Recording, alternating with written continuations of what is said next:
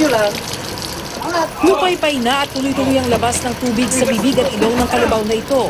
Isa lang ito sa mga nadatnan ng mga taga-National Meat Inspection Service sa isang katayan sa Bulacan.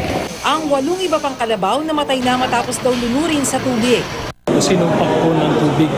Yung bang ah, parang force feeding po ng tubig, nang sa ganun, mag-distend ang abdomen, hoping na mag-blend agad o ma- ma-assimilate ng kalamnan ng muscles nang upang pagka ito'y naging karne, bibigat na po yung timbang. Paglabag ito sa Animal Welfare Act. Sabi rin ng NMIS, bukod pa sa pandaraya ito sa consumer, pwede itong magdulot ng peligro sa kalusugan ng tao.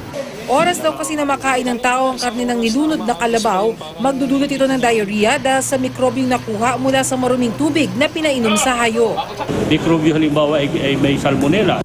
Finding po namin ngayon, ang naging bago nilang technique para po hindi po halata na may tubig, yung labasan ng dugo at yung labasan ng tubig pag nag-backflow, pareho po nilang pinuputol nang sa ganun ay maghalo ang tubig at yung dugo.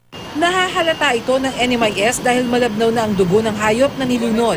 Ang mga nagbibiyahe sa mga kalabaw ang kadalasang gumagawa nito dahil kapag dumating na sa mga meat dealer ang kalabaw, timbang lang ng hayop ang kanilang babayaran.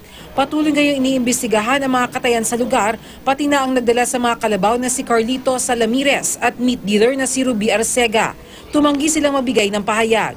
Bernadette Reyes, Nakatutok, 24 Oras.